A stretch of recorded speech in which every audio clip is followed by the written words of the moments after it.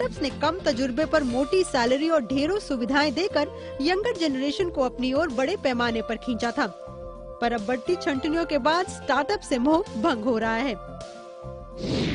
Talent reversal के इस trend से उन कंपनियों ने राहत की सांस ली है जिनके यहाँ से बड़े पैमाने पर लोग अच्छी सैलरी के नाम पर स्टार्टअप्स में जा रहे थे।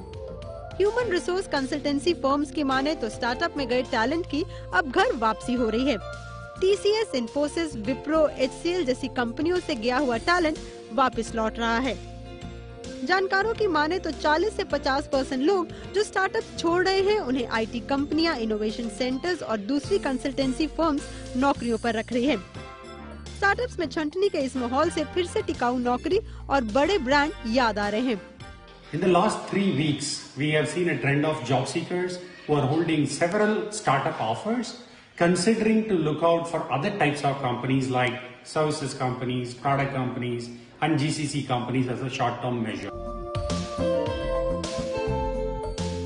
दरअसल बीते चार पाँच साल में आए स्टार्टअप बूम में मोटी सैलरी वाली खूब नौकरियाँ आई जिससे कम तजुर्बे पर भी अच्छी सैलरी मिलने का ट्रेंड सा बन गया इसका असर बड़ी आईटी कंपनियों पर दिखा मार्च तिमाही के आईटी कंपनियों के एट्रिशन के आंकड़ों को देखें तो लंबे समय बाद इंडस्ट्री में एट्रिशन यानी नौकरी छोड़ने का इतना बड़ा ट्रेंड दिखा।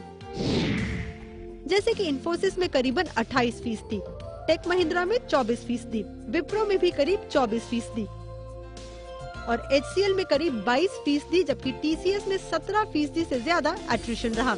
इसका प्रभाव लगभग चार से छह महीने तक मार्केट में रहेगा और बड़ी आईटी कंपनीज़ के एट्रिशन में पाँच परसेंट तक एट्रिशन में कमी आने की पूरी संभावना है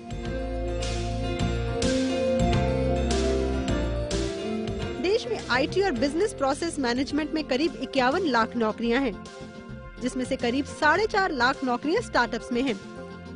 इस साल जनवरी से अब तक स्टार्टअप्स में करीब 6000 नौकरियाँ गई हैं, जबकि दुनिया भर में ब्याज दरों के महँगे होने के संकेतों के साथ फंडिंग की किल्लत आगे और बढ़ सकती है।